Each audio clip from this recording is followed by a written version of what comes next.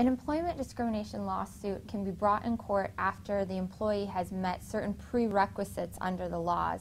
Usually those are consistent with filing a charge of discrimination with either the Equal Employment Opportunities Commission or the Florida Commission on Human Rights and waiting a certain amount of statutory time that's required before you're able to bring a lawsuit.